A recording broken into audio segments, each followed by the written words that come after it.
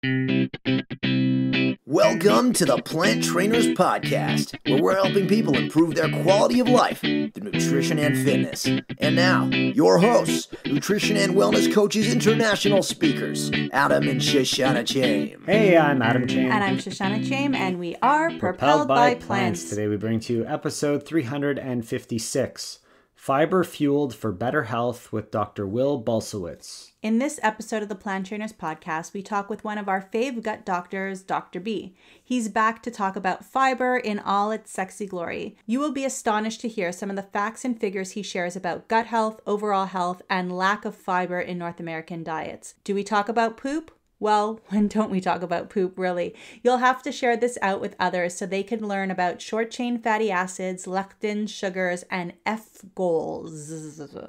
Dr. B is a board certified, award winning gastroenterologist and the author of the plant based gut health book, Fiber Fueled.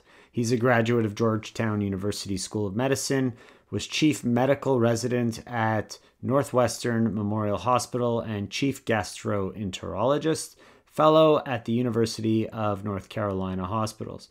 He's authored more than 20 articles in the top American gastroenterology journals and has been featured in Shape, Women's Health, Men's Health, and on HuffPost. He lives in Charleston, South Carolina with his wife and two children. This is such a fun episode. He's such a great guy to have on the show. You're going to love it. Share it out because there's so much great information that so many people really need to hear. You have a huge collection of recipes, but you never make them and you never even know what is for dinner. Things seem to kind of get out of control. You do your shopping, you hope that you're getting everything that you need, and then when four or five o'clock or six o'clock comes around, you're still scrambling to figure out what's for dinner. That used to be our life, and then I figured out the perfect system to make sure that everything was in order. I always had all the groceries that I needed, and that I was making nutritious food for my family without the headaches of the scrambles. So we created the meal planning mastery so that I share all the tools that I use here in the Chaim Plant Trainers Kitchen so that you have them to be able to create your own meal plans with your own preferences so that you are organized and life is just that much more simple. So you can find it on our website at planttrainers.com slash shop or click the link in the show notes at planttrainers.com. And now for a moment of gratitude. Actually, we're not going to share our moment right now because we do it at the beginning of today's show. So just take a moment to reflect on what you're grateful for today before continuing on with this episode. Fiberman, Dr. B, welcome back to the Plant Trainers Podcast. Oh my gosh, it's such a treat to come back and on the show with you guys. I, I miss you and I look forward to the day that someday we're meeting up in the same city. Oh, yeah, we should definitely do that. Some hugs when it's socially acceptable and all those other things. You were on the podcast back on 219. Wow. That was almost two years ago. That was over 100 episodes More. ago. Yeah, More, yeah. it's So crazy. that's super, super crazy. We talked about probiotics, fermentation, all of those good things. And we are super excited for today's show. But as you remember, before we get into any of that, we want to ask you if you have a moment of gratitude to share with us and the listeners. I'm grateful for the time that I'm having with my kids right now during COVID 19. My son came up to me the other day and he said, Daddy, you're my best friend. And he's three years old. And, you know, that kind of connection, I feel like there's been great bonding that we've had as a result of this virus. So the virus is horrible. It's crushing us all in some sort of unique way. But there is positive that's occurring. And I would rather focus on the positive than like have my life destroyed by all the negatives. And I, th- I think that's how we're going to get through this. And that's how we work together to find the positive moments and share them just like that. And to, to be your son's role model, superhero, fiberman, like it, it's just amazing, you know, that, that they have a guy like you to look up to. And it, it's really cool to find the positive pieces in this difficult time. So thanks for sharing that. What's your moment of gratitude? I want to hear it. I mean, it's different every day, but right now, I mean, I'm just very happy to be here and spend time with the family as well. It's just, we spend a lot of time with our kids on a regular basis, anyhow. But to be able to have that extra time and to see them in a little bit of a different way on certain things that they do that I don't normally get to see is really something that I'm grateful for at the moment. I have to say, Adam, I was really impressed by the way you reeled it in there because initially your facial expression, it looked like you had cabin fever for a moment. and, and, it looked a little bit like something out of the movie Misery. Like I was like, oh my gosh, what happened to my friend? but you reeled it in, you got your head on straight. We've never been asked that back before. Although, yeah. so really? before we start this segment, we will record our moment of gratitude beforehand. But so everybody else will have heard what our moment is at the time of you know putting putting all the pieces together of the podcast, but nobody's come back and asked us. So yeah. you you got shocked you got from yeah, him. I was shocked.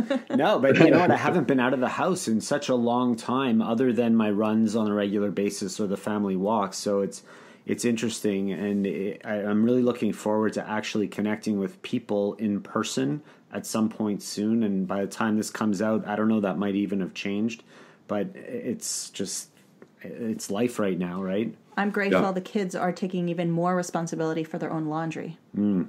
Hey, there's a win. The little things, right? the little things. Yeah.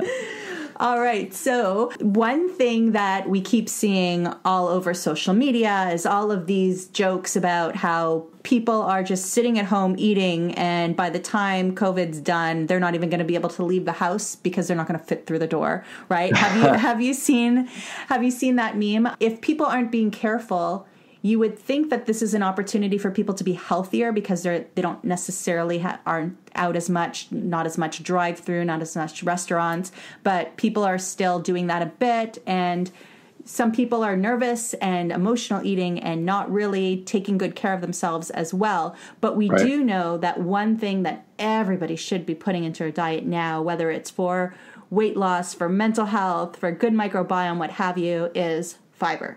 Yeah, no question. I, I, feel like right now is not the time to be letting loose on your diet and allowing your health to drift away from you.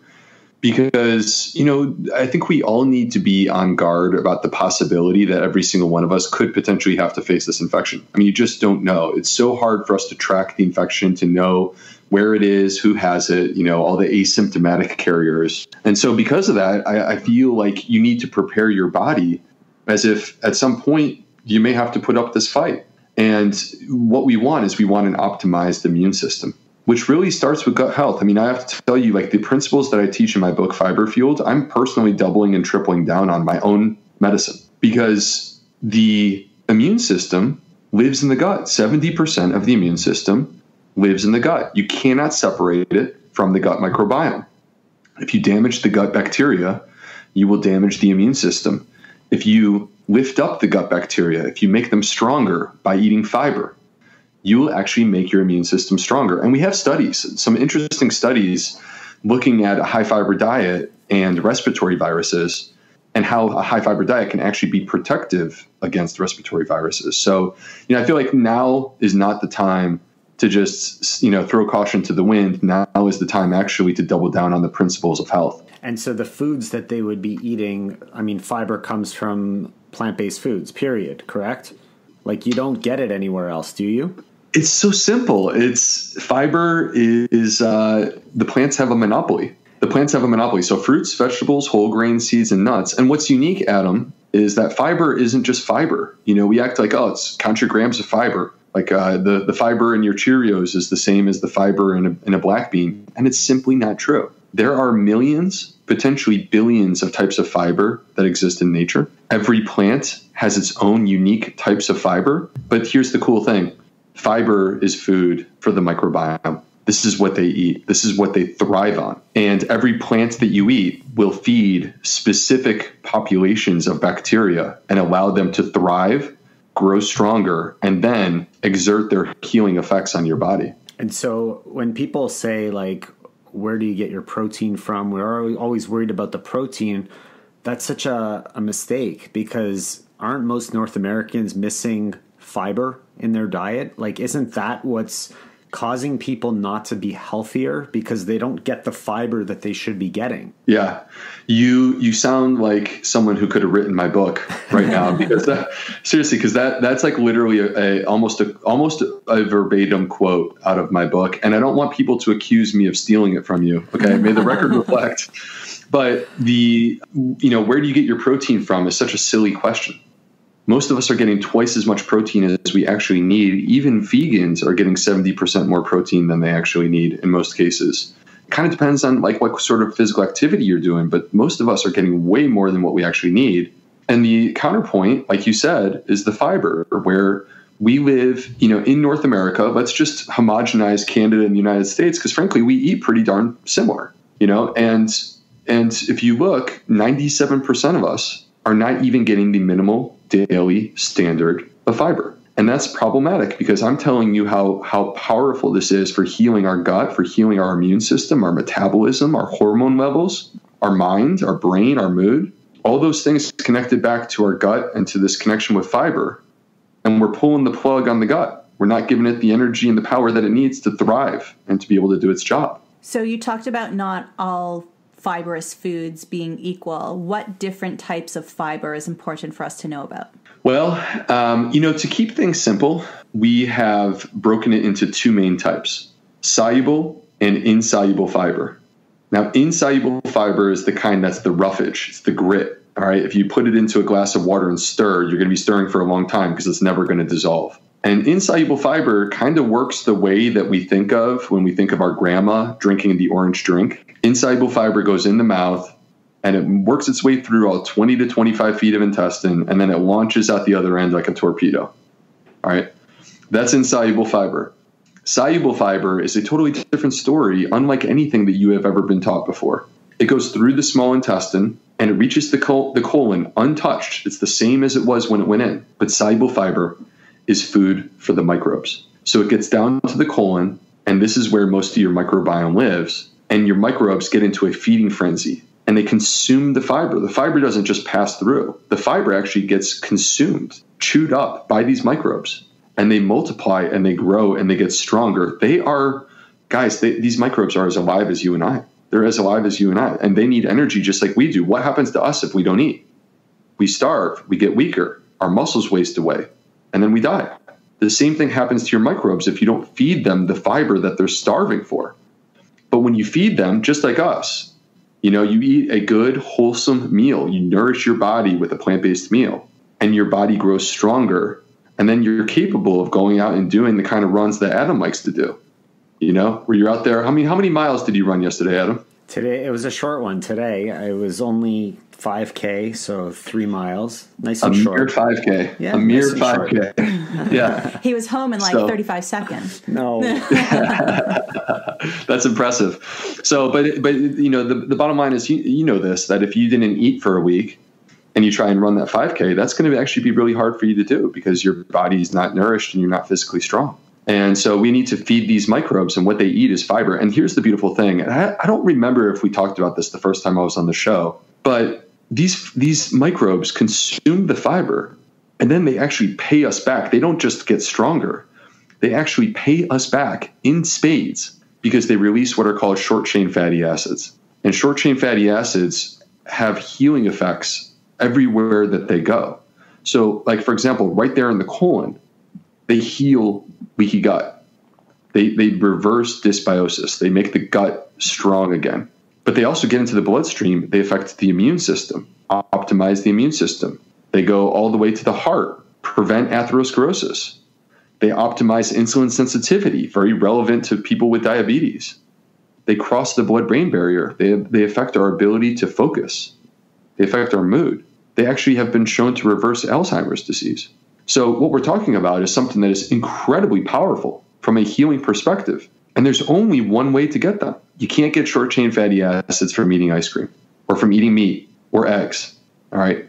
You can only get it from one place, and that is plants, fruits, vegetables, whole grains, seeds, and nuts. And every single type of plants has, in its own way, its own contribution to your health. And when we study this and we look at the health of the microbiome, what we find is that cl- very clearly the number one predictor of a healthy gut microbiome is the diversity of plants in your diet. So we need diversity of plants. We don't need just grams of fiber. We need diversity of plants. That's what I care about. you need everything else that's coming along with it. And, you know, very often we'll get asked, well, what is wrong with dairy if it has these good things for you? What is wrong with eggs if it has these good things for you? And before I even talk about what's wrong with it, I'm like, what else is it coming with that's hurting you? But you don't see that in the plant world, especially if you're eating an organic diet, right? This is, oh my gosh, this is such an important concept. Just wanted to pop in here and remind you about our Easy Recipes for Busy Parents e cookbook, where we help you to really get meals done for a whole week. Make sure that we overlap ingredients so that you don't have to go out buying a crazy amount of ingredients that you're never going to use again. And the recipes are pretty simple and children aren't scared of them when they're trying them out for the first time. So if you want to get that, you could click the link in the show notes or pop over to planttrainers.com slash shop and check out our easy recipe for busy parents cookbook. And now back to the show. This is such an important concept because people need to see the forest through the trees what is the big picture? What actually happens when you eat this food? So I actually had someone message me this morning and they said, I'm worried about your diet plan because of the lectins. I'm worried about the lectins. And I said to him, I go, look, I said, I understand there's another doctor out there. Like there's one doctor. Who will not be named. right. A lone wolf who is marching around on the plains and saying you need to go lectin free. We eat six pounds in the United States, six pounds, like less than three kilograms of beans per year. We're eating less than we did 50 years ago. And we eat 220 pounds, 100 kilos of meat in the United States. And we think the beans are the problem? We think that's the problem? We eat 100 kilos of meat and and less than three kilos of beans, and we think that's the problem. To your point, Shoshana, what happens when, when real human beings actually eat the food? And this is all laid out very clearly in my book. People live longer. They have less heart disease. They have less cancer. I just listed the top two killers right there, right? People eating real beans live longer with less heart disease and less cancer. They're not dying from lectin overdose. Is there any disease, and let's be fair for a minute, is there any disease that you could think of that a more fibrous, plant fed diet cannot help with? Um, all right, let's let, let, let's be fair and say that you know any food to excess can hurt you, including a plant, right? So if I construct a diet where I say I'm going to go on the kale only diet, like kale is the healthiest. Stones in a couple of weeks, right? oh, I'll be, uh, oh, I'll be screaming and yelling, you know, no mas. so you know, any food taken to excess can potentially harm us. So, and this that's kind of part of why I like the balance of saying diversity of plants because if you're not overemphasizing one food, you're going to get a little bit of everything. And that's actually just going to play to the strengths of all the foods without exposing you to any of the negatives. You gave a good explanation of the two different types of fiber, but I'm still thinking there's somebody that's listening that's saying, oh, it's okay. I'll just use that powder to get my fiber in every day, and that'll help clean me out because that's what fiber does. So, to that person, how do you respond right now again to clarify what the role of this soluble fiber might be? All right. I'm, I'm talking to this person directly right now. I'm no longer I'm no longer yeah, acknowledging the plant trainers. chair. You got yeah. serious. Yeah. Yeah. No, I'm very serious, and I'm no longer talking to the plant trainers. May the record reflect. Jimmy Bo, I want to talk to you for a minute. This this idea that you can take a fiber supplement and heal your gut is just not going to cut it. And here's the reason why your gut thrives on diversity of fiber. Diversity of fiber. When you take a fiber supplement, you are taking one type of fiber that has been isolated from the plant, extracted from the plant. And while that could potentially make some minor changes in your gut microbiome, it's not going to lead to the type of dramatic, life changing changes that we're looking for where you are absolutely thriving. You can't go from a C minus gut to an A plus with a fiber supplement. You just can't. But if you're willing to change your diet, if you're willing to bring in plant based diversity, I'm going to get you all the way to an A, maybe even an A plus. And then if you want to sprinkle a little bit of that fiber in there, I don't have a problem with it because you're already rocking an A, maybe even an A plus. All right, Jimmy Bo. Love it. Go get him, buddy. That's great. That's great. How, I'm back. How important is drinking of water when you're getting a diverse fiber diet? Well, I think, okay, so drinking water is important, period. We don't do enough of it. It blows my mind that we actually spend a substantial amount of money. Like I don't know how many dollars the average person spends on soft drinks per year, but it's a lot. Mm. You know, and you could get water for free. And it's it's it's quite remarkable that, you know, you could probably send yourself on a beautiful vacation with the money that you save by simply drinking the healthiest beverage that exists on the planet and trading in the sugary beverage, you know? So water is important for fiber, but you know, the important thing um, is when you're adding in fiber, and I think you're kind of alluding to this a little bit, Shoshana, when you're adding in fiber, you don't want to be hyper aggressive. All right. If you're not someone who's been eating a lot of fiber, or eating a lot of plants, this is not about saying, hey, I just heard Dr. B on the plant trainers, I'm going vegan today. I actually want you to ease your body into it because the last thing that I want is for you to do a cannonball into the pool and realize that the pool, you weren't ready for that cannonball. And so you never want to swim again right? I want you to ease your body into it. And so this is about moving the needle. And I'll tell you, like, I don't know about you guys, I'd be curious to hear. But for me on my on my plant-based journey, it was never a single day where I changed my life. It, there was the single day where I took my first step, like a baby taking his first step. But then it was me walking this path that ultimately led me to a 100, 100% whole food plant based diet. But along that path, it took time. It took me actually years to get there. I did, I did it overnight. For for me, it was well, no. For me, it was like I I made the decision and I was all in. But I could tell you that along the way, I went through phases of introducing new foods that I hadn't eaten before, and I would get really bloated and I would get really gassy. And I think that's exactly what you're talking about. And then most people would say, I'm done. I don't want this bloating and gassy because this fiber is doing that to me. And so you're saying to ease into it, which I should have probably done with certain foods. You, this is such an important topic, okay? This, and this is actually uh, probably the most important chapter in my entire book. This is the chapter that Garth Davis likes the most, which is about food sensitivity, how to eat a plant based diet when you have a sensitive gut. Because it's the person who has a damaged gut that needs this the most, okay? and you see all these um, you know sort of like vegan influencers who quit veganism citing their gut health issues. And adam basically what they're talking about is what you're describing. Right. so what's actually happening? What's happening is that you rely on your gut microbiome to process and di- digest your plant foods okay? We have outsourced it to our microbiome. Now your microbiome is completely adaptable but it's adaptable in the same way that your muscle is adaptable, right? So if you train for a marathon, you don't wake up and run a marathon. You train and you gear up, and there is a ramp where you are going from 5K to 7K to 10K, and you're working your way up as you prepare for this marathon. You got to train your muscle when it comes to exercise. The same is true with your gut. You have to train your gut, treat your gut like it is a muscle. All right. So if you have not been eating this food, that's effectively the same as waking up and saying, I'm going to the gym for the first time. When you go to the gym for the first time, you don't try to blast your body, you could hurt yourself. You got to be willing to start low.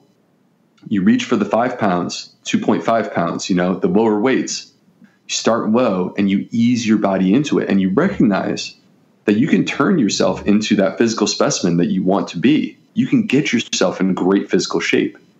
But there's a process that exists to get yourself there. And along that path, it may not, there's going to be some physical discomfort that comes with it. You know, in the same way that when you go to the gym, it's like, gosh, I'm sore.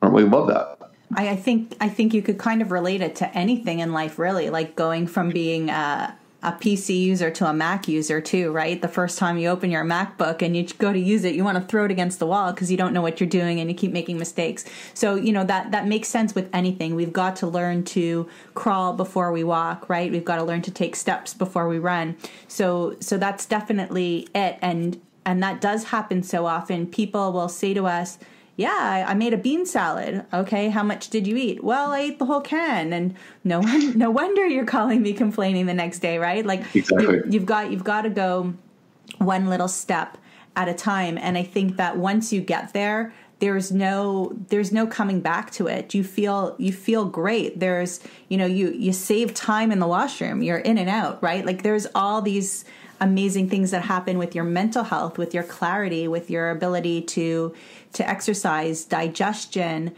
How fast do you see people talking about digestion recovering from things like acid reflux or GERD when they can't digest foods, but when they take out all those other things, all of a sudden they they start to feel better? Well, you can you can address issues like that potentially very quickly. All right. And specifically when you can be very targeted in your approach. But what's interesting is with GERD is we have all these treatments that like reduce stomach acid, right? Fiber does not reduce stomach acid, yet we have multiple studies to suggest that fiber actually pr- protects us from acid reflux. And the reason why is because it has to do with motility and it has to do with the gut microbiome. And when you properly feed the gut microbiome, the motility is restored, and all of a sudden you stop having the acid reflux issue. So we have studies with fiber, and we have studies with a basically almost 100% plant based Mediterranean diet that showed benefit for acid reflux. What's interesting is that in my book, I actually created a four week plan. Now, when I went into building out the book, you know, it would have been so much easier for me to do like a 10 day thing and call it a detox. It would have been so much easier. Just have like 25 recipes, boom, get out, we're done, right? But I kept seeing in study after study after study, four weeks, four weeks kept popping up as like the magic number when it comes to changing the gut. And so because of that, that's why I had to make my meal plan a four, it's a four week plan. It's a four week plan designed for the person who's listening to our show right now and says, you know what, I want to heal my gut, but I'm not sure where to start or how to do it. Follow the plan. Follow the plan. It's actually designed to be incremental and to ramp you up over time in the way that you and I are talking about right now. And I want to get more into that in a question in, in a couple of minutes and ask you some more questions about that. But I have sugar on the mind, and I know that there's a lot of debate out there where you know the plant based world will say, eat plant based, it'll help. And the rest of the world will say, no, no, no, sugar is the problem. So if you're going to, you know, say for someone who does eat a lot of fiber, a lot of different types of fiber in their diet already, or for somebody who's saying, I need to make a change, but I'm going to cut the sugar, I'm not going to add in the fiber. What do you have to say about that and how that processed sugar is actually affecting the body? So, I don't like when we process foods and turn them into some perverted version of its original form, right? Anytime we process our food, we run the risk that we are, over the course of time, reducing the the nutritious value in the food to the point that at some at some moment you cross the line and it actually starts turning into what could be a poison right that could actually be causing harm instead of good so when it comes to sugar i think it's an interesting topic because when you take the sugar out of the plant it becomes a radically different thing than when it's a whole plant that contains sugar. I have zero fear of whole plant foods, including fruit. I actually list fruit as one of the top categories of food that I see as an opportunity to get more of. Do people who eat more fruit gain weight because of the sugar? No, they lose weight. Do people who eat more fruit get diabetes and spike their blood sugar? No, actually, they have better blood sugar control. And the reason why is because the food has already been packaged in a way that nature intended it, that includes the fiber. But if you take the apple, which is incredibly healthy for you, and you juice the apple and you remove the fiber, you are not ending up with the same product that nature intended you to have. Now it's a sugar beverage. And so I just see them as, as very different things. It's kind of like, you know, uh, categorically vilifying carbs. That makes zero sense to me. Fiber is a carb. Are you telling me that fiber is bad for you? Because if you are, that's some quack science. And I know there's some people who say that. That is some quack science. And that's why those are lone wolves that are out there howling at the moon. And all the other scientific world is going, whoa, dude, whoa, you're weird, man. You're weird. Based on your book, what would you say are the top five actual foods that people should be consuming as often as possible. All right, let me let me go beyond five if that's okay. Do yeah, I have permission? Okay. There's actually a chapter that I call the fiber fueled foods. And the key is again just to set the stage, diversity is the most important thing, right? I want you to have as many friends as possible. But it's okay to make the superfoods your best friends. It's okay. You have my permission to have best friends that you eat every single day. So I define them at, by the acronym F goals, F for fiber, F goals. F stands for fruit and fermented. I actually think a little bit of fermented food every day is a great thing. G is for greens and grains. Greens are all nutrient, zero calorie. If you're trying to lose weight, get more of those. Grains, foundational food for the microbiome. O is for omega 3 super seeds, chia, flax, hemp. A is for aromatics like garlic, onions, shallots, leeks. L is for legumes. Again, foundational foods. You get rid of whole grains, you get rid of legumes, you are destroying your gut microbiome. And then S was really hard for me because I had multiple multiple categories that begin with S that I wanted to include. So I included one, which is my favorite one, but then I gave two bonuses. The two bonuses are shrooms, shrooms, which by the way are not plants. So we're on the plant the plant trainer podcast, and I'm talking about something that's not even a plant, and seaweed. Seaweed, they are plants and they're way underrated. They have some unique properties and they have unique types of fiber that we miss out on if you don't eat seaweed because they're they're different. But the S that I actually used in the book, it's it's like it caught my heart. Like I'm obsessed with it. It's sulforaphane. Sulforaphane is the phytochemical that you will find in cruciferous vegetables like broccoli, cauliflower, kale, Brussels sprouts. This is the most powerful cancer crushing phytochemical I have ever come across. This is the cancer fighter. And what's really cool and exciting, you guys may already know this. What's really cool and exciting is that broccoli sprouts have up to 100 times more sulforaphane than mature adult broccoli. So I grow my own sprouts and in the book, I tell you how to grow your own sprouts as well. And it's incredibly easy to do. And it's kind of fun to do with your kids, to be honest. I kind of want to jump on that train. Actually, yesterday, somebody DM'd us at Plant Trainers on Instagram and was like, Have you, do you guys know about broccoli sprouts? They've got more of all this great stuff than, than adult broccoli and all of that. So, yeah, so I've been thinking about getting on that. We've started a little herb garden. So it's definitely once it's, it's above yeah. ab- above one degree here, we can we can get into that. well, the cool and the cool thing is with the with the sprouts is that you don't even need dirt. Oh, that's it's even literally, better. It's literally a mason jar and seeds, and that's pretty much it. That's all you need, and you just do it right in your kitchen, and it takes about five days. The the, the most important thing is that I found because I've messed this up so many times is you just have to have really good seeds. That's all so you got to order from a place that's got legitimate seeds. If you have bad seeds, you will keep trying and keep trying and keep trying, and you'll be so angry because you know Dr. B made it sound so easy.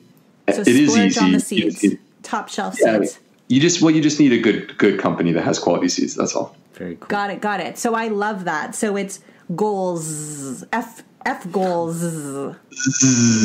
like a snake. like a snake. Yeah. yeah. I love that. And I think that's going to give people a lot of direction and a lot of action that they can take. Hey, am I getting my aromatics every day? Hey, did I get something cruciferous in today? It's really tangible for them to to take action on, especially while they're hopefully doing some good grocery shopping, getting as much as they can in, and then being able to reap the benefits from that. Yeah. Super cool. It's um it's a great book. There's a lot of great tips in there and a lot of recipes I saw too and I love that you asked people to rank with plant points. I thought that was really cool. That's a fun way for people to track. How'd you come up with plant points? Oh man. All right. I so first of all I wanted to gamify the idea of going plant-based. And it's the, it made sense to me because my my number one golden rule like i'm against the lists. I'm against all the rules and the macros and the weighing your food. I have one rule diversity of plants. So i wanted to reward people who bring more diversity of plants into their diet. And so that's how i wanted to gamify it. But then i thought back to when i was a gi fellow and we used to have this joke it was a running joke for several for several years. I mean we, we really kind of took it too far about creating a, a gastroenterology practice called Rock and Roll Gastro. And rock and roll gastro is like I'm not wearing scrubs. I'm wearing, you know, like rock and roll outfit, you know, shades, like total rock star. So I wanted to bring that element of rock and roll gastro into my book somehow, and this is where I did it. When you get when you get plant points, you start ramping up in your plant points, you can go from a, like a rock rookie up to a rock star, up to all the way like rock legend, like Paul McCartney. And gosh, there's so many. I mean, I, name your favorite rock star, and that's who I'm talking about. I think it's super fun. It adds a really cool element to the book. And for those listening, the book is called Fiber Fueled the plant based gut health program for losing weight, restoring your health, and optimizing your microbiome. It's a rock star book. Thanks so much for putting it. it together. And by the time this episode drops, your book will be available. So, where can people go to connect with you or grab their book? All right, so the book is available through all your typical outlets, you know, for example, Amazon, Barnes and Noble. But here's what I honestly believe. With the COVID 19 crisis, I really want to encourage people to go to your local bookstore when possible support your local bookstore. That way, when COVID 19 crisis is over and it's a rainy day and you want to have a cup of coffee and just flip through some books, you're able to actually do that. You don't have to order something off of Amazon and sit at home. So, support your local bookstore. Come find me at theplantfedgut.com. That's my website, theplantfedgut.com. I have um, tons of resources. Literally, all 600 references from my book are available for free. You don't even have to buy the book, I'll give you the references. All right, I believe in complete transparency. I got nothing to hide. Um, you can find me on Instagram as the Gut Health MD. And you know, the last thing I just want to say real quick, if I hope you don't mind, is that I feel like we're living in this era of misinformation. COVID 19 has really accentuated that, like, really made it even more apparent how much misinformation is out there. And we all have uh, a responsibility to identify legitimate information and then bring it forward and celebrate it. That's how we combat misinformation. And so, for the people listening at home, if you have enjoyed this podcast and you believe in what we're talking about, I want you to go and tell your friends, share it, put it on, you know, put it on your social media, on your stories, or on a post. And the same goes for my book. If you read my book and you believe in what I'm saying, which you know, there's 600 references to back up what I'm saying.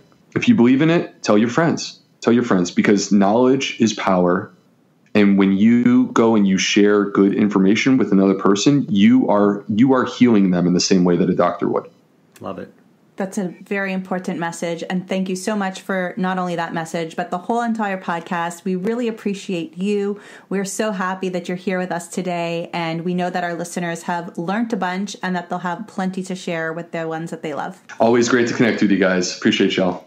Thank you all so much for listening to this edition of the Plant Trainers podcast. We want to make sure that you subscribe on iTunes, Google Play, iHeartRadio, Stitcher, or any other podcasting platform. We really appreciate the feedback feedback we receive from you every time we get a five star rating or review on iTunes from one of our fans. It really helps other people find us just like you did. Thanks so much to our patrons. To become a patron, visit us at patreon.com slash planttrainers. Even supporting us with $1 really makes a difference in the quality of the show. And don't forget to connect with us on Instagram and Twitter. Our handle is at Plant Trainers. Like Plant Trainers on Facebook, join our newsletter, and check out our website at planttrainers.com for awesome recipes, a list of our services, and of course, our latest podcast. We encourage you to email your questions to info at planttrainers.com so that we can help you improve your quality of life through nutrition and fitness. So we hope we've inspired you today. Join us again next time and, and have, have, a, healthy, healthy day.